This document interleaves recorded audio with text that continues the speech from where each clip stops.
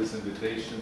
I am very honored to be here. I understand, uh, thanks to the translator, uh, whatever you have tried to express as the objects of this uh, society. And uh, well, I'm here only first time in my life, and I uh, not because I especially wanted it, because your government wants to increase the relations with Argentina, and so I've been invited to see if they like my face, and uh, I don't know the results, but if they like my face, and maybe we open the consular, honorary consular office in Buenos Aires, and uh, it will be a very great pleasure to receive you all of them in that time, which will be a long time from today anyhow, because of bureaucracy. as you know. Thank you you. like it?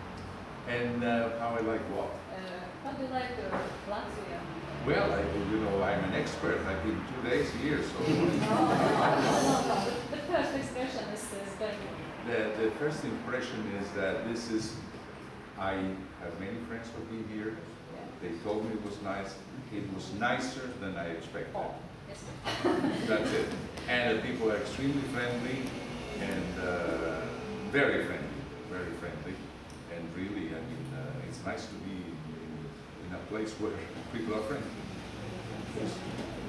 Thank you. For the invitation.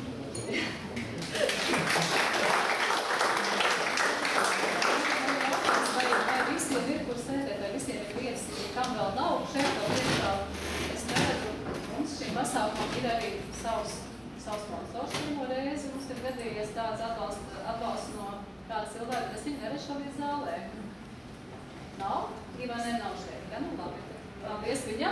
Bet es domāju, mums vairs nekas nekavē sākt tieši to darbu, ko mēs tagad visi tā nepacietīgi gaidām.